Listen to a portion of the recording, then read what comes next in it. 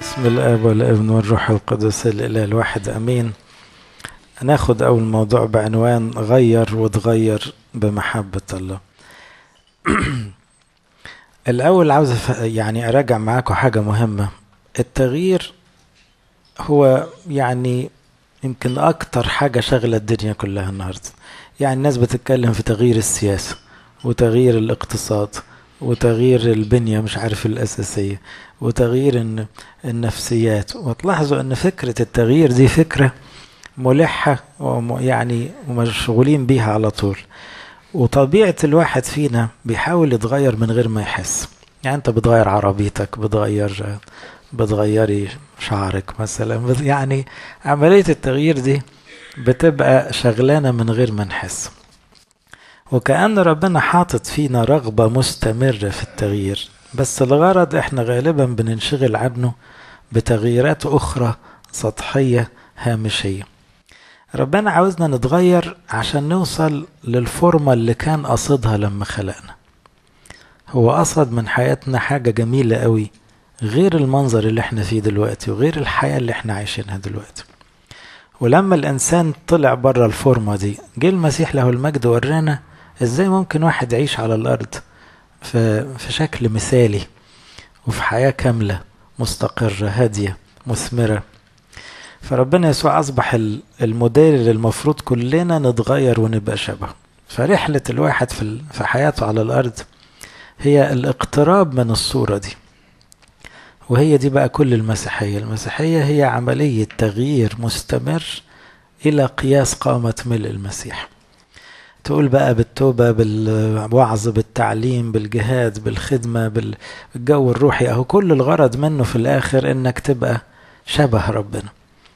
على قدك كل واحد في ظروفه في موقعه كده فموضوع التغيير الحقيقة موضوع مهم لأنه أحيانا الشيطان بيلهينا وينسينا تماما الجزئية دي.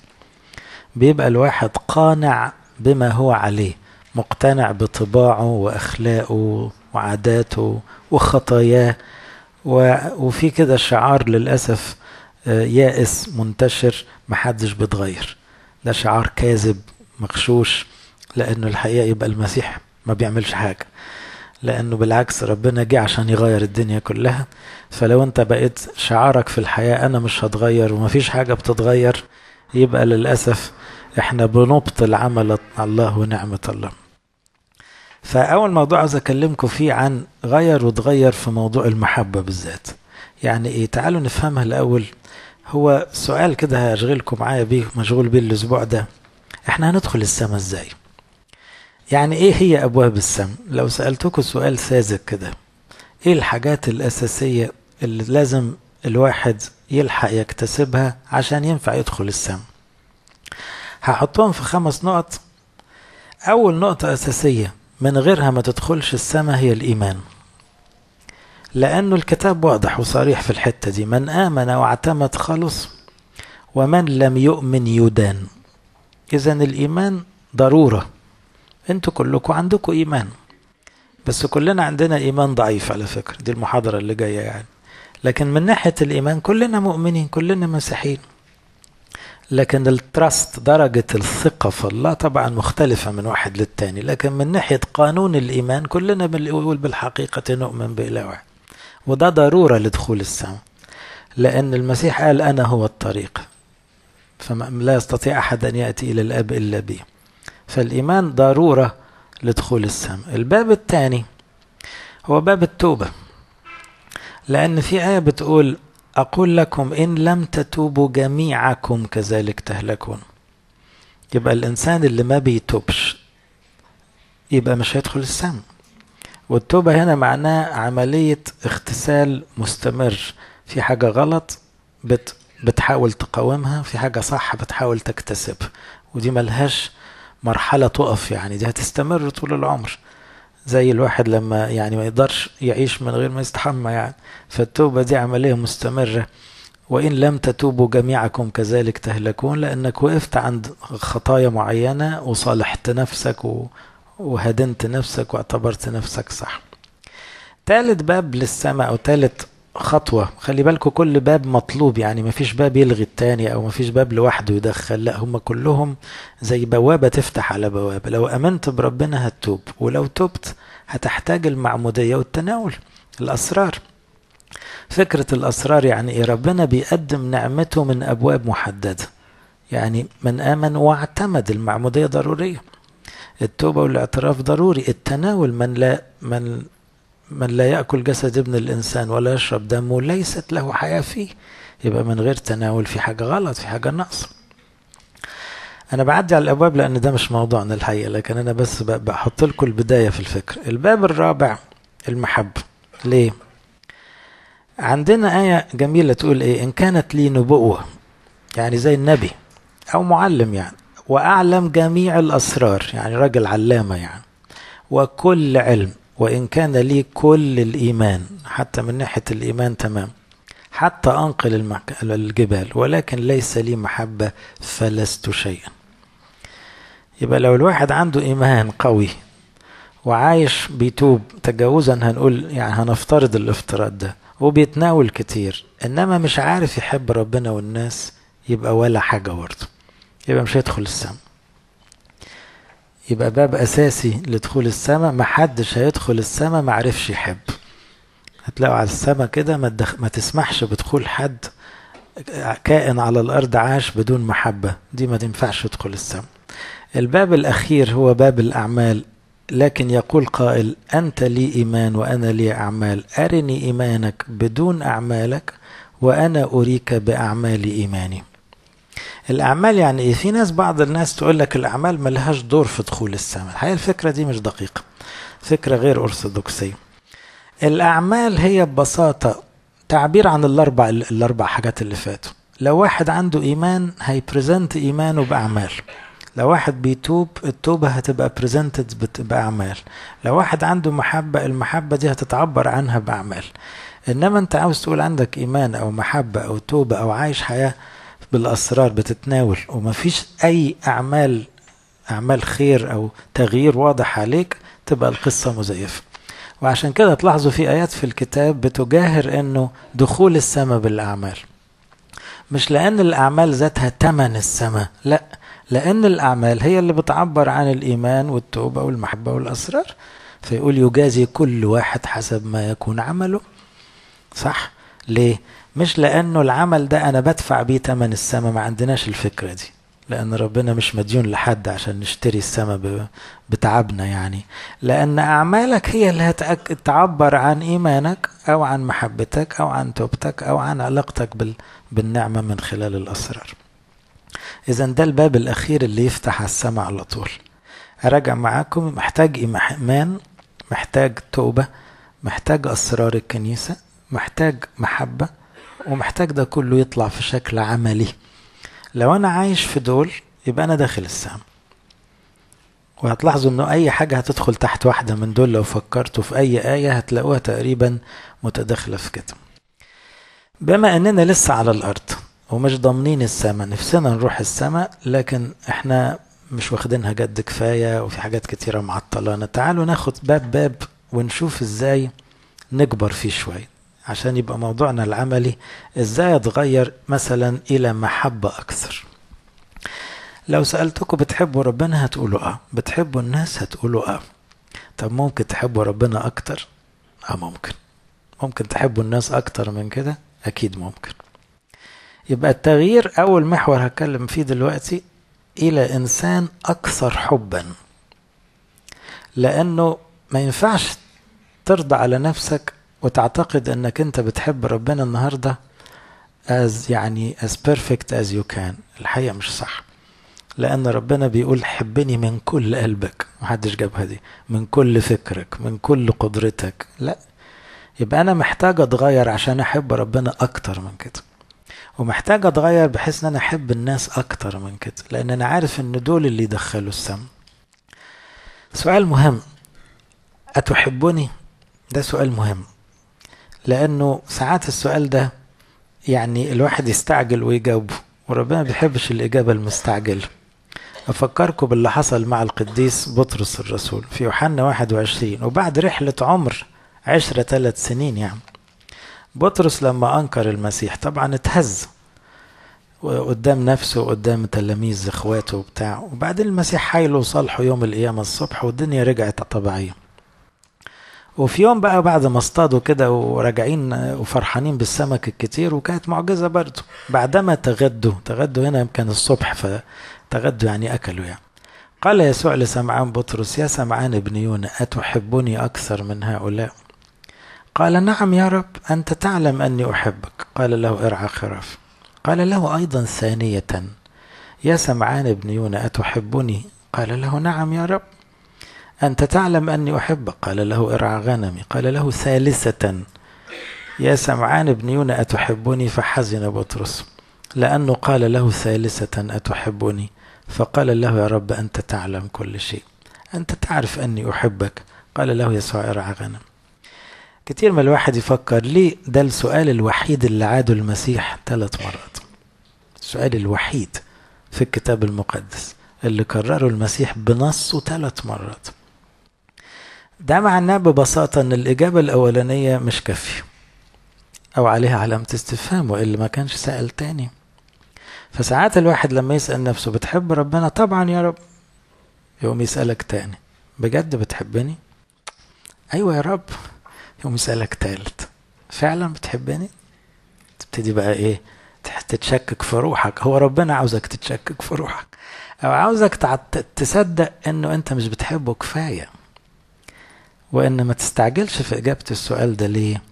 لأن أنت ممكن تكون بتحب شغلك أكتر من ربنا. ما تقلبش الموازين. ممكن تكون بتحب نفسك أكتر من ربنا. ممكن تكون بتحب الناس أو ولادك أكتر من ربنا. ممكن تكون بتحب الأكل أكتر من ربنا. ممكن تكون بتحب حاجات كتيرة أكتر من ربنا. فما فيش ما يدعو إن الواحد بسرعة يستعجل ويقول أيوه يا رب وبعدين تطلع الإجابة مش مظبوطة. لأن السؤال مهم. يعني ربنا مش بيقول له انت عندك ال qualifications اللي تخليك راعي. لا مش فارقة معاه. يعني عندك ال authority والحكمة والبعد السنين دي أقدر أسيبك يا بطرس ترعى آلاف من الناس وكنايس وبتاع. مش هو ده السؤال. السؤال المهم الخطير انت بتحبني ولا لا؟ بعد العشرة دي كلها بعد السنين دي كلها بعد اللي شفته مني. اذا السؤال ده مهم. محتاجين نراجع نفسنا كل شوية وهنشوف نراجع إزاي لأن ممكن الواحد لو أسهب المشاعر بس يعني يجاوب غلط لأن ممكن المشاعر تكون هدي. ممكن الواحد ما يكونش منفعل بربنا بس ده مش معناه إنه مش بيحب ربنا. لكن يا ترى تتقاس إزاي الحب عشان الواحد ما يظلمش نفسه ولا يجاملش نفسه؟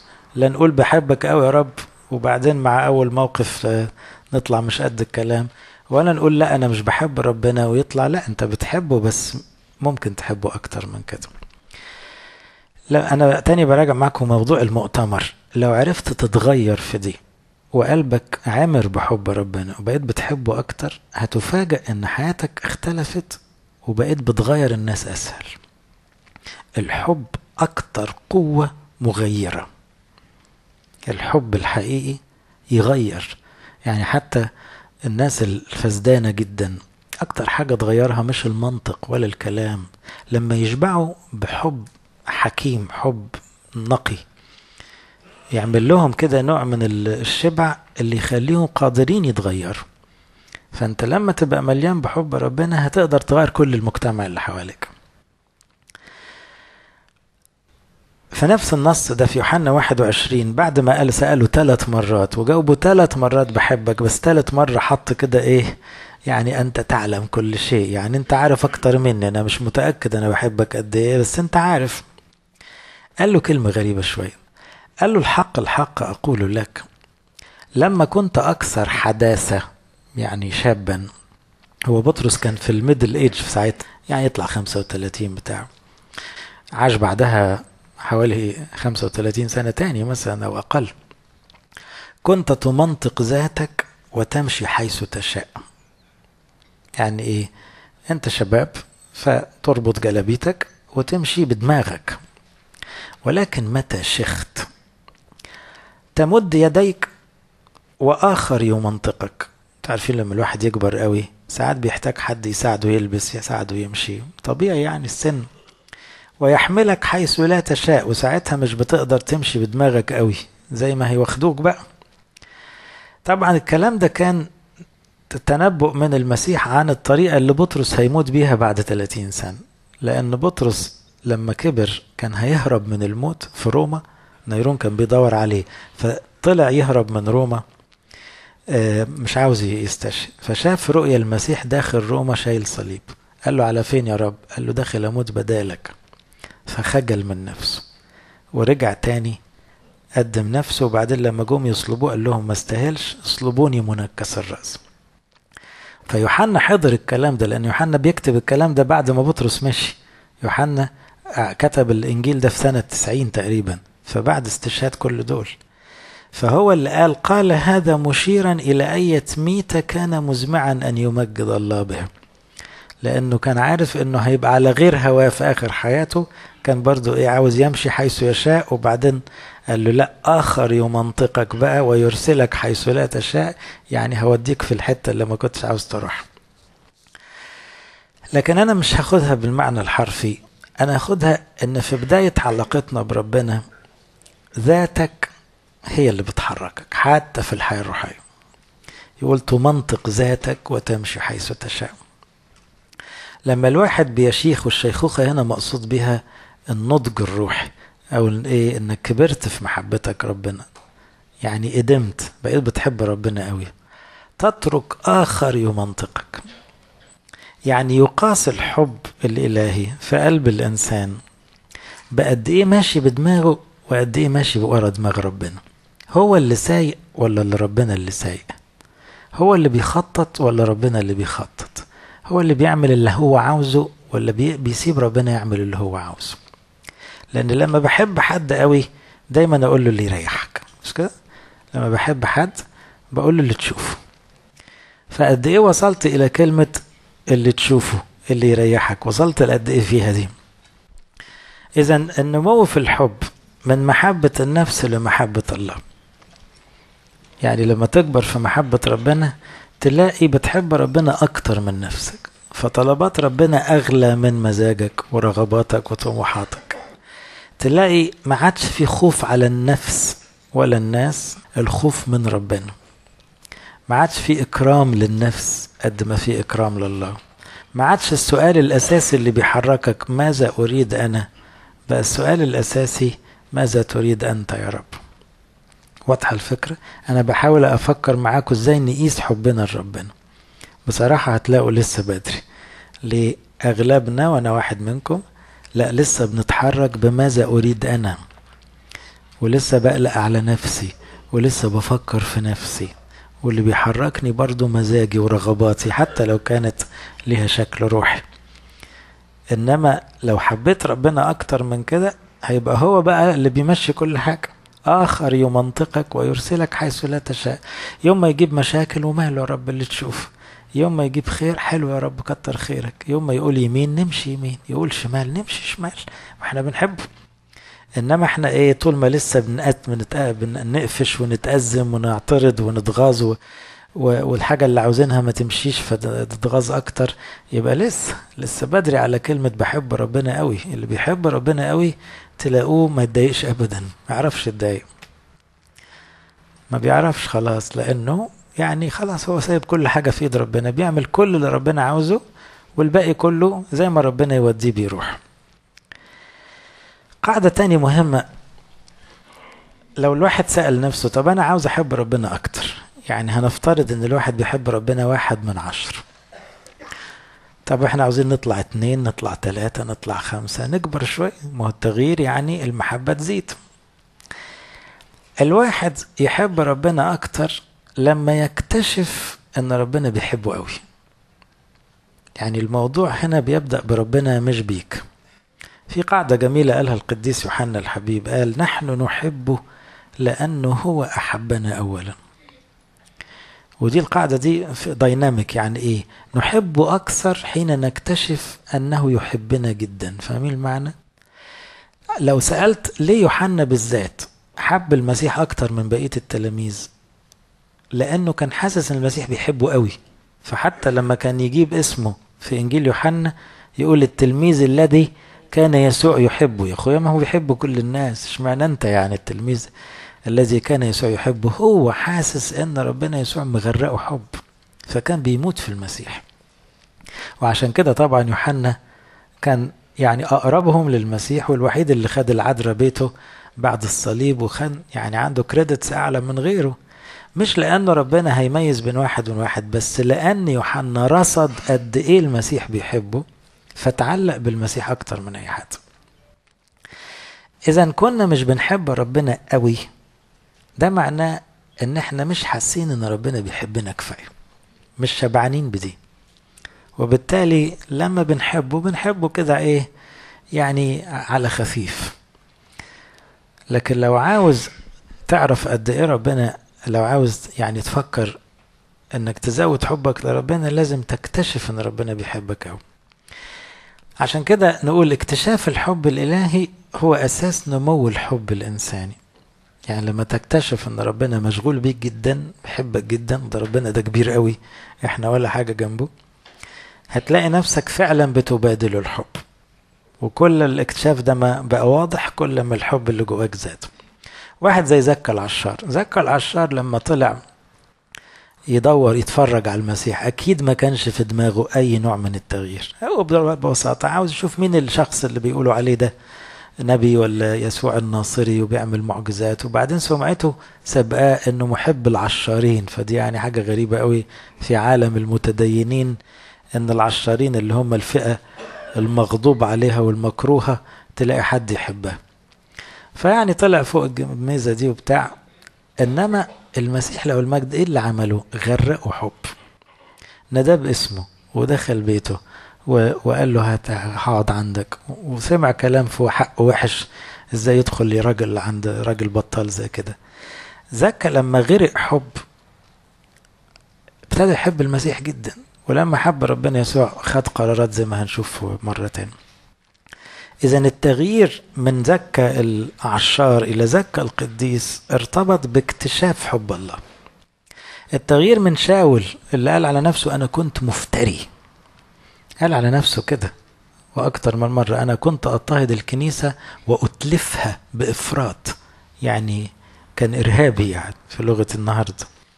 شاول إزاي تحول إلى عاشق للمسيح؟ أكتر واحد اتكلم عن محبة ربنا وعن صليب المسيح وعن إيه اللي نقله النقلة الكبيرة دي؟ إيه اللي غيره التغيير الفظيع ده؟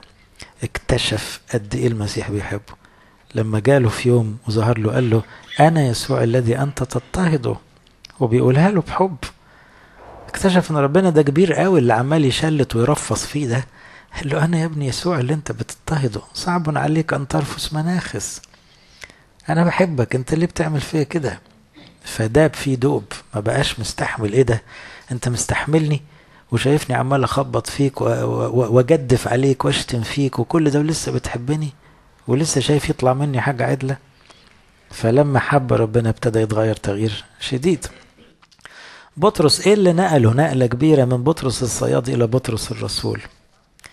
مش لما شاف حماته الظاهر العلاقة ما كانتش قوي في له أربعة شاف حماته فابتدى يحبه شوية يعني بس حماته ما كانتش كافية إنها تغير قلبه يعني. إنما اللي كان بيحبه جدا بطرس السمك الصيد شغله. فلما ربنا دخل شغله وغرقه سمك تاني يوم في لقى خمسة على طول بعد لقى أربعة. لقى أربعة عمل له اسمه شاف حماته كل طابور ناس عيانين قصاد بيت بطرس وعمل له سمعة تمام. طبعا حبه شوية. إنما تاني يوم رجع شغله عادي. لما بقى دخل معاه للعمق وقال له ارمي هنا وبقت الشبكة مش سايعة. فبص له كده قال له انت يعني جبت جون يعني. أنا فعلا حياتي شغلي. فكونك بتحبني لدرجة وأنا مستاهلش تغرقني الكرم ده كله أنا بقى حبيتك بجد. قال له تشتغل معايا؟ كانت البداية. تيجي معايا تصطاد ناس. إذا نحن نحب لأنه هو أحبنا أولا. لو لاقي نفسك مش بتحب ربنا كفاية وكلنا كده مش بنحبه كفاية ده لأننا مش حاسين إنه بيحبنا كفاية. إحنا مش مستمتعين بحبه إحنا مش مكتشفين مركزنا عنده. إحنا مش عارفين قد إيه ربنا مشغول بينا صبح وليل. إحنا مش فاهمين يعني إيه أب بالمعنى المثالي بتاعها. وإن كان فينا كتير آباء وأمهات بس ده محدش فينا زيه في كمية الحب اللي عنده. فإحنا مش عارفين نحبه لأن إحنا ما دقناش الحتة دي. هنا يجي سؤال تاني. هل الحب ده وصية ولا عطية؟ يعني هل الواحد يبقى في أمان الله كده ربنا يملأ قلبه حب وخلاص؟ ولا لازم أعمل حاجة عشان أحب ربنا أكتر؟ ما هو أنا مش عارف أنا علي أنا ولا عليه هو الدور ده؟ طب إحنا عاوزين نحبه يعني. هنعمل حاجة ولا هو اللي هيعملها فينا؟ هو اللي هيخلينا نحبه ولا إحنا اللي هنحاول نحبه؟ أي سؤال من النوع ده اعرفوا إن الإجابة إيه؟ الاتنين. دايما كده. هل الإيمان عطية ولا وصية الاتنين هل الحب عطية ولا وصية الاتنين هل الحكمة عطية ولا وصية الاتنين يعني إيه؟ ده اللي بيسموه القديسين السينرجيزم التوافق أو الانسجام أو العمل المشترك بين الله والإنسان. لا يمكن لإنسان يتقدم خطوة دون أن يشاركه الله ولا يمكن لله أن يغير إنسان دون محاولة منه. فهنا لازم إيدينا في إيدين بعض. فإذا كنت بقول لك غير وتغير عشان تغير نفسك أو تغير الدنيا كلها حط إيدك في إيد ربنا. في وصية بتقول لك حاول وفي عطية بتقول لك هديلك في وصية بتقول لك حب وفي عطية بتقول لك هديك الحب. ولازم يمشوا مع بعض. مثلا الوصية بتقول تحب الرب إلهك أظن ده أوردر دي فعل أمر. تحب الرب إلهك من كل قلبك من كل نفسك من كل فكرة واحد يقول طب مش عارف. أحبه من كل نفسي إزاي أعمل إيه يعني؟ من كل فكري أعمل إيه؟ تبقى بطل أشتغل وأفكر. هذه هي الوصية الأولى. طيب بدل بتقول مش عارف ينفع تحاول ولا هتفضل تقول مش عارف؟ حاول. يقابلها إيه؟ الرجاء لا يغزى لأن محبة الله انسكبت في قلوبنا. دي عطية ولا وصية بقت؟ انسكبت دي بقت عطية. خلاص ربنا دلق الحب في القلب. دلق ودلق كده. محبة الله انسكبت في قلوبنا بالروح القدس المعطى لنا إذا الروح القدس اللي فينا هو هيخليك تحب ربنا أكتر لما تحاول تحبه.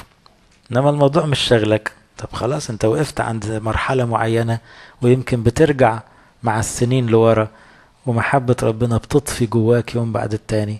ودي موجودة حتى في علاقاتنا البشرية. ممكن واحد يبقى صديقك من الكلية من زمان قوي وبعدين خلاص العلاقة بقت فترة. واحد قربت منه زيادة والعلاقة اتقدمت لازم يبقى في شغل يعني عشان المحبة دي تزيد. أنت تقدم الحب والروح القدس يشعل الحب. أنت بتحاول تحب وتلاقي روح ربنا عمر قلبك حب. فاذا التغيير في اتجاه أكثر حبا ده مش مستحيل. محدش يقف يقول أنا بحب ربنا ويقف على كده. خلونا دايما نقول نفسي يا رب أحبك أكتر. لأن الوصية الأولى عهد قديم وعهد جديد ما اتغيرتش. حبه من كل قلبك من كل نفسك من كل فكرك.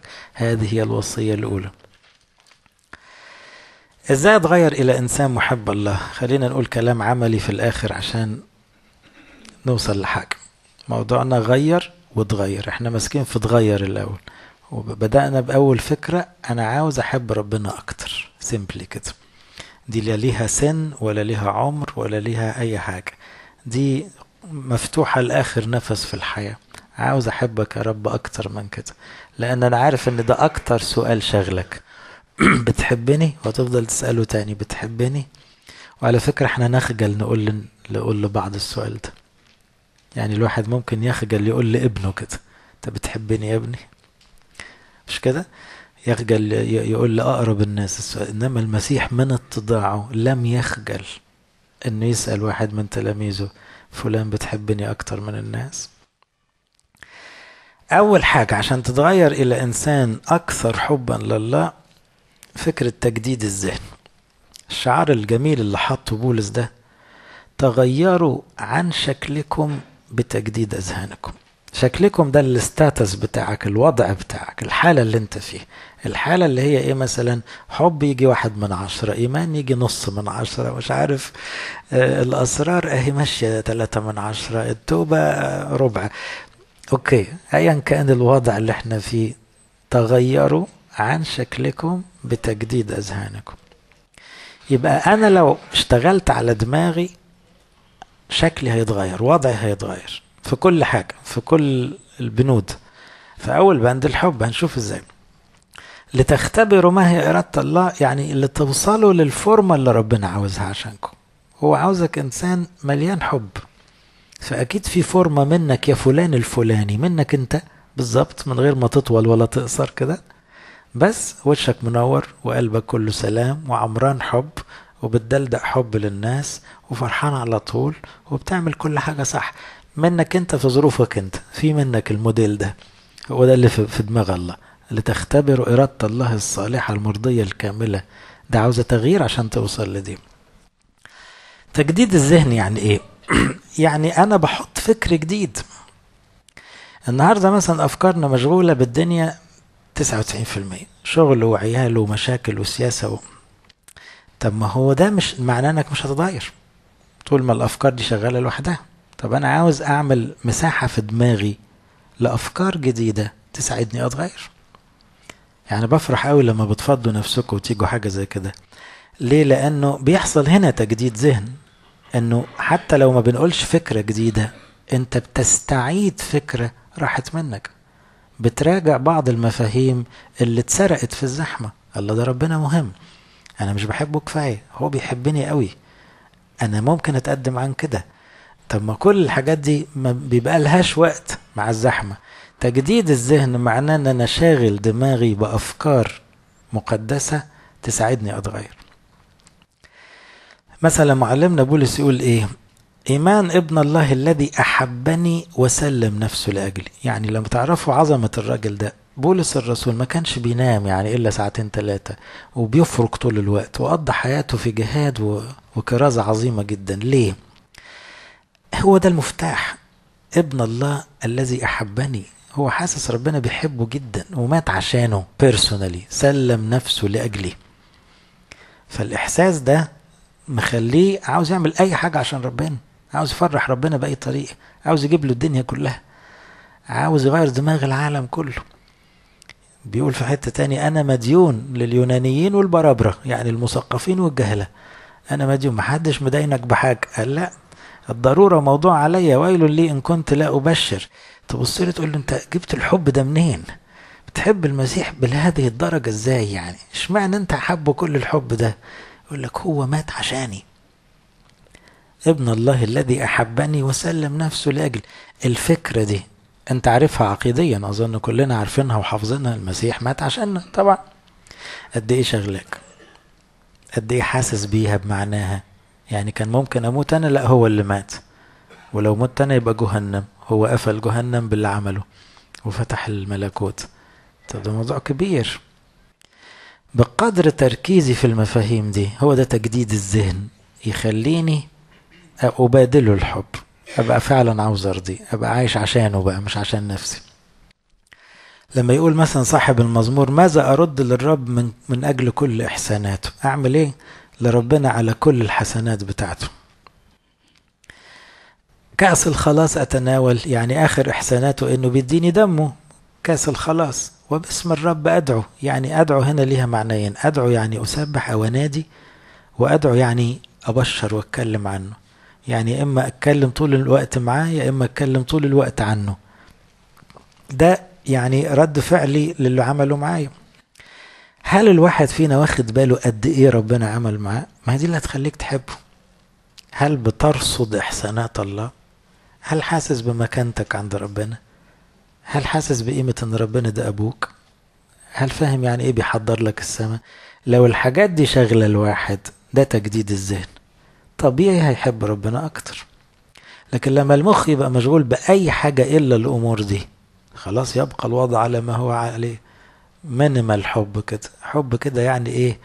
آه يعني لحظة صغيرة. هنا أقول إيه تجديد الذهن مين لي الحقيقة بالإنجيل. أكتر حاجة تديك فكر جديد يغيرك هو كلمة ربنا. لأن كلمة ربنا هي اللي بتدينا الحقيقة اللي كل العالم غافل عنها بما فيهم المسيحيين المشغولين عن ربنا. إيه الحقيقة اللي الناس مغفلة عنها؟ إنه انه ربنا موجود وربنا بيحبنا وربنا دعينا نبقى شبهه وربنا بيحضر لنا السماء. الناس مشغولة بأي حاجة إلا الحاجات دي. الشيطان ضحك على الناس كلها بقوا ياكلوا في بعض ويموتوا بعض ويعملوا فلوس وبتاع لغاية ما يموتوا. وخلاص دي الحقيقة المزيفة اللي أغلب العالم عايش فيها. الإنجيل بيفوق الواحد. لما بقرأ الإنجيل الله ده ده موضوع غريب ده موضوع غير خالص اللي إحنا مشغولين بيه غير اللي الجرايد بتتكلم فيه غير اللي التلفزيون بيحكي فيه غير اللي الشارع بيتكلم فيه. أيوه ما هو رئيس هذا العالم الشيطان عرف يلخبط دماغ الناس بأي حاجة إلا الحقيقة المهمة. أنت عايش ليه؟ وموجود كام يوم على الأرض ليه؟ ورايح فين بعد كده؟ وربنا عمل القصة دي من أولها لاخرها ليه؟ والحكاية كلها حب في حب. والحب بقى نادر جدا في الدنيا. لأن الشيطان الخبيث عرف يلغي يبعد الناس عنه. إذا تجديد الذهن لما بدي وقت للإنجيل إن كان بقى قراية ولا تأمل ولا حفظ ولا استخدام للآيات إن أنا أقولها إن أنا أحاول أعملها الإنجيل يشغلني الإنجيل فعلا بيغير دماغ الواحد. ولما دماغ الواحد تتغير تلاقي مشاعرك ابتدت تتغير. تلاقي موقف ربنا أو موقفك من ربنا ابتدى يتغير. علاقتك بربنا بتتغير. لمجرد ارتباطك بالإنجيل فرق. بتاخد آية تفكر فيها وعظة تسمعها تعيد حساباتك عليها. أيا كان استخدام الإنجيل بس إحنا ما زال الإنجيل بالنسبة لنا مش واخد مكانه الحقيقي. وعشان كده مش بنتغير كتير. وعشان كده الحب لسه أقل مما يجب يقول يا ابني أعطيني قلبك ولتلاحظ عيناك طرقي. دي البند التاني بقى. يبقى قلنا أول خطوة عشان تخلي تحب ربنا أكتر تتغير فتبقى أكثر حبا لله جدد ذهنك. عارفين كل مرة تغسل راسك مش أنتوا الرجالة على الأقل بيغسلوا وشهم وراسهم كل يوم. افتكر إنك عاوز تعمل برين ووش كمان يعني عاوز تدخل مية جوه مش هنا. لأنه مخك بيصحى على أخبار الدنيا ومشاغلك وشغلك وعيالك. لا استنى. ربنا عاوز يقول لك حاجة. اعمل برين ووش فبعد ما تغسل وشك تفتح الإنجيل على طول وتشوف ربنا عاوز يقول إيه. لأن الكلام ده هو اللي يجدد الذهن هو اللي يزود الحب هو اللي يغير الواحد. تاني حاجة تخليك تحب ربنا أكتر قدم وقت أكتر. النهاردة في يعني دايما يقولوا ال quality time أهم تعبيرات أو أحد تعبيرات الحب. ما ينفعش تقول لي بحبك قوي وأنا مش بشوفك خالص. بتحبني إيه يعني؟ رسايل بدل بتحبني تعال اقعد معايا شوية. فما ينفعش نقول له بنحبك يا رب وإحنا بنقطر مع ربنا بالدقيقة والثانية. ما هي برضو ما ينفعش. يبقى أكيد مش بنحبه كفاية. مهما جملنا الصورة وقلنا معلش إحنا بنحبه وكل حاجة ومش كل واحد يقدر يقدم وقت زي التاني بس على الأقل في شوية وقت. لأن شوفوا لما المسيح له كل المجد يقول أنا واقف على الباب وأقرأ إن سمع أحد وفتح الباب. أدخل إليه وأتعشى معه يعني هو اللي فاضي يعني ربنا هو اللي فاضي وإحنا اللي مشغولين. أتعشى معه وهو معي. إذا واضح إن إحنا إحنا اللي قافلين مش هو اللي قافل. ده هو ما يصدق يقعد. فمجرد نوع الوقت وكمية الوقت اللي بتقدمها لربنا دي بتقيس على طول حبك لربنا. فما ينفعش واحد ما يكونش بيدخل الكنيسة غير مثلا دقايق كل شهر يقول له بحبك قوي. لا ما ينفعش. حتى لو هو بيخدم الناس وإنسان صالح بس لا استنى. علاقتك بربنا عليها علامة استفهام. أتحبني يا فلان أكثر من هؤلاء؟ طب ده أنت مستخسر في الوقت. وبعدين أنتوا عارفين إحنا ما بقيناش بنقول الوقت لازم يبقى شكله إيه. لا اي وقت مع ربنا حلو. تقضيه في خلوة حلو. تقرأ انجيل حلو. تسمع وعظة حلو. تكلم ربنا من قلبك حلو. تفتح الإجبية حلو. تروح القداس حلو. كله حلو. بس في وقت ولا ما فيش وقت لربنا؟ هل البند ده شغلك؟ وهل بيزيد ولا بيقل؟ ما لو الحب بيزيد يبقى الواحد بيدور على الدقيقة اللي يقعد فيها مع ربنا. لو الحب بيقل بيدور على الحجة اللي يهرب بيها من ربنا. تاني لو الحب بيزيد هيبقى الواحد بيدور على الدقيقة اللي يسرقها عشان يقعد مع ربنا.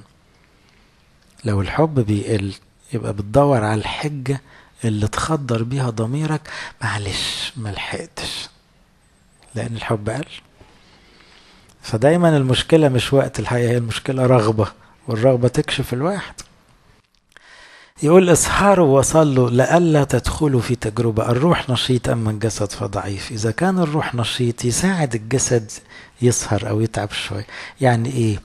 ما تيجي على نفسك شوية ما أنت بتيجي على نفسك قوي في الشغل وبتيجي على نفسك قوي من أجل الناس. طب ليه ما تجيش على نفسك شوية عشان ربنا؟ هتقول ما فيش وقت. لا هو الوقت ممكن يتلاقى. لو الرغبة موجودة هتلاقي الوقت. لو عاوز تحب ربنا أكتر هتلاقي الوقت. يبقى تاني موضوعنا إحنا بنتغير في اتجاه واحد يحب ربنا أكتر من الأول. العمر بيجري. ولو ملحقناش نجاوب على السؤال ده خطر. أتحبني ده أخطر سؤال. ومت... والواحد مش عاوز يستأمن الإجابة التلقائية بتاعته. طبعا يا رب. لتكون مش دقيق. بدليل إنه عاد السؤال تاني وتالت. وبعدين ربنا ما يضحكش عليه. تالت نقطة عشان تحب ربنا أكتر إحنا قلنا أول حاجة جدد الذهن واعرف مكانتك عند ربنا ودي أكتر حاجة تساعدك فيها الإنجيل. تاني نقطة قلنا قضي وقت مع ربنا يعني مين للصلاة بأي شكل. تالت نقطة في قاعدة مهمة قالها المسيح له المجد يقول الذي عنده وصاياي ويحفظها هو الذي يحبني والذي يحبني يحب أبي وأنا أحبه وأظهر له ذاتي. أو في آية تانية يقول من يحبني يحفظ وصاياي. فربنا حاطط مقياس دقيق لقولة بحبك يا رب. بتحبني؟ طيب قد إيه حريص على كلامي؟ أنا قلت لك سامح. مسامح ولا لا؟ قلت لك سيب. سبت ولا ما سبتش؟ قلت لك ما يهمكش. يهمك ولا ما بيهمكش؟ فاهمين إزاي؟ يعني ربنا كلامه عاوز أقول بسيط يجوز مش سهل في التطبيق لكن هو واضح. طلبات ربنا على فكرة واضحة. مفيش حد فينا تقريبا مش عارف ربنا عاوز إيه. تقريبا. إنما إحنا مش حريصين نعمل اللي ربنا عاوزه. أنت بتبقى عارف في زعلة إن ربنا بيقول لك فوت سامح. بس أنت مش عاوز تسامح. ليه؟ لأنه من يحبني يحفظ وصاياي هي على طول مقياس حب. هتقدر تقول له عشان خاطرك وخاطره ده قد إيه؟ ما هي هتقاس أهي. هتتقاس على طول. خاطره كبير بس كده يا رب لما يدوسوا عليا كمان عشان خاطرك. أنا سامح ونص. سيب دي. لا فلوس غالية يا رب. فلوس مهمة. طب عشان خاطري؟ ها؟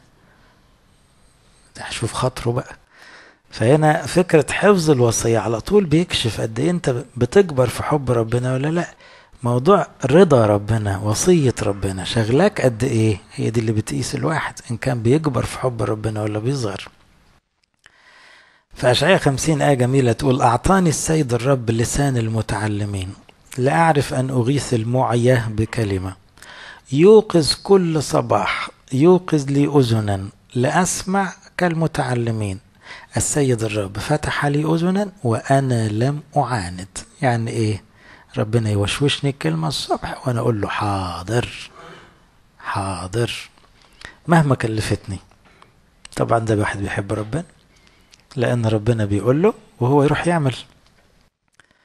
عاوز تحب ربنا أكتر كن حريصا على وصيته أكتر.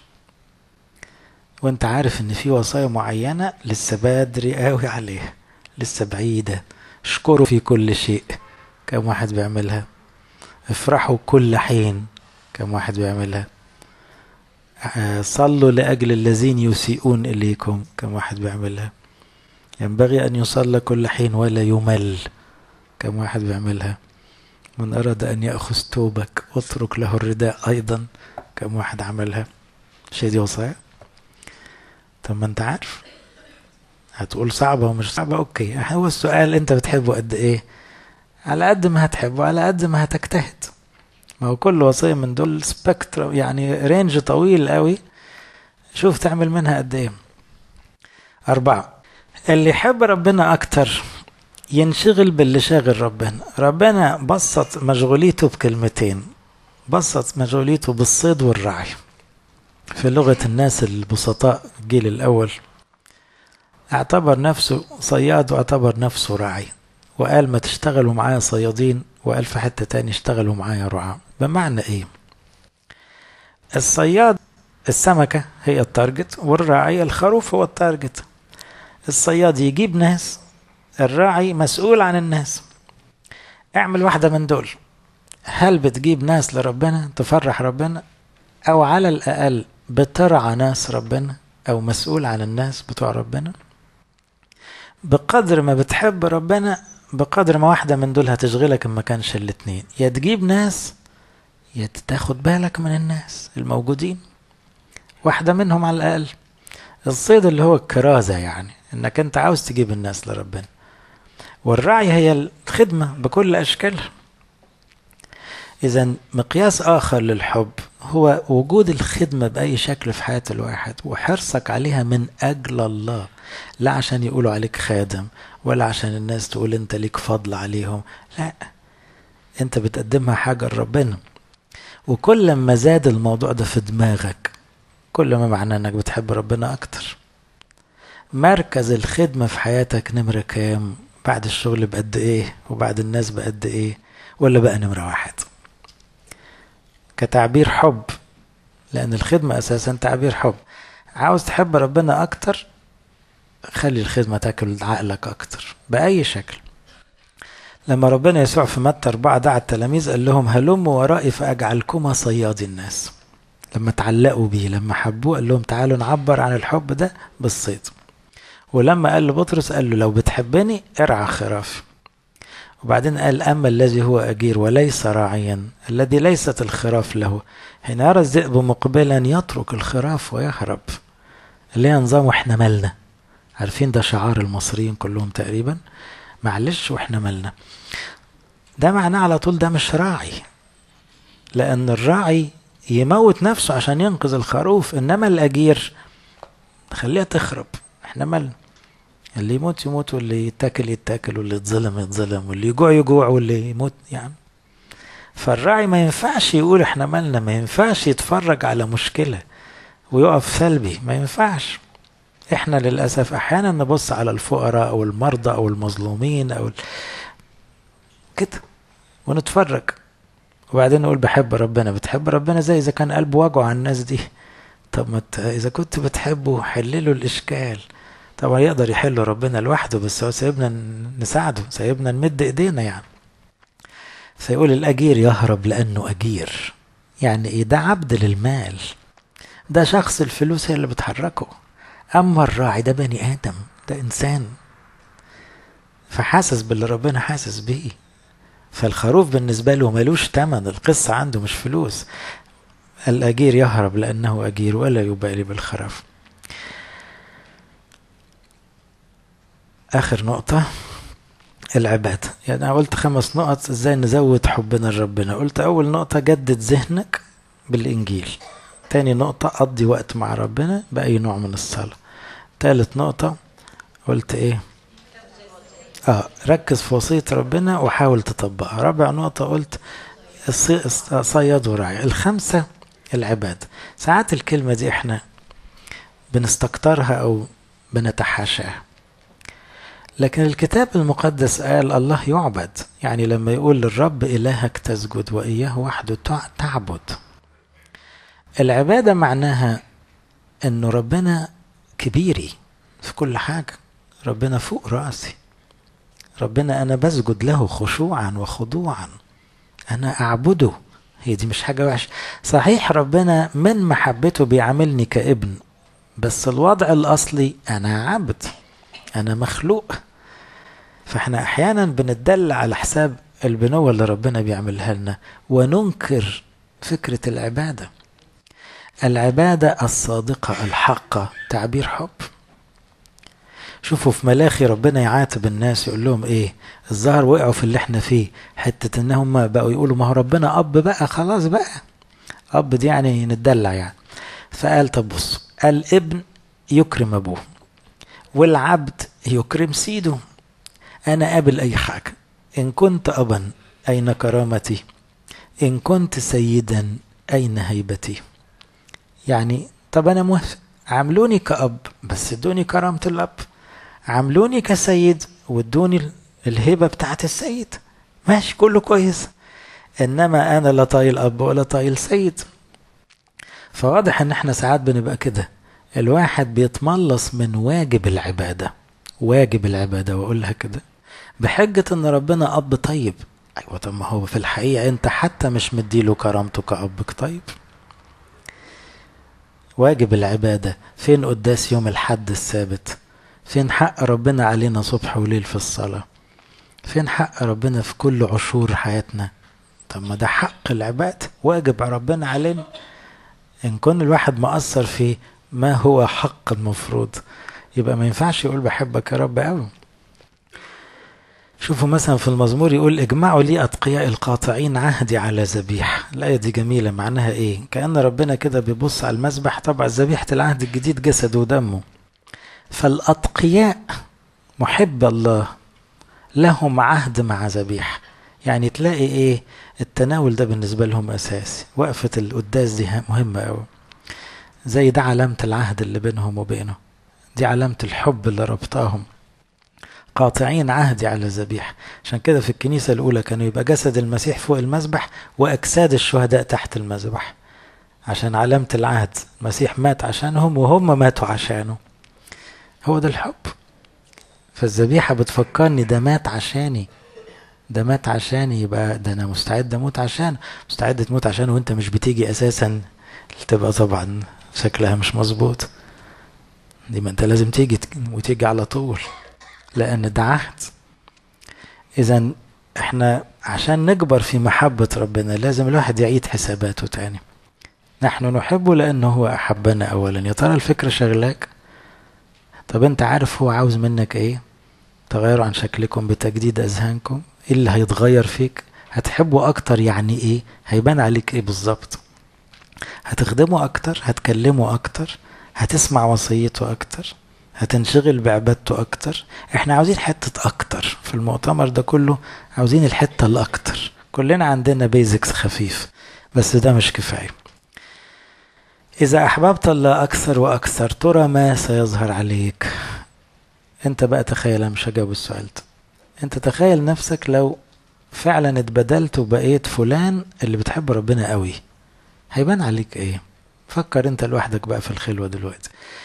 أو إذا حبيت ربنا أكتر إيه تأثيرك على اللي حواليك؟ تصور نفسك بتحب ربنا قوي أكتر من كده كتير.